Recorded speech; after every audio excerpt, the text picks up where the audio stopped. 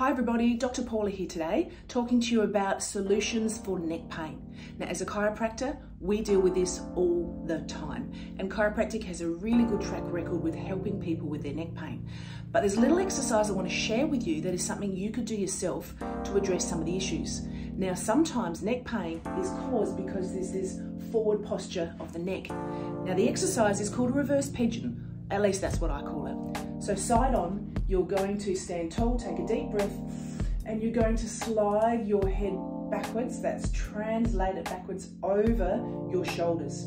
A really good way of doing this is either standing up by a wall or if you're in the car, pushing back, while you're at the stoplights of course, or stationary, pushing back against the headrest of the seat, holding it for the count of three and then letting it go.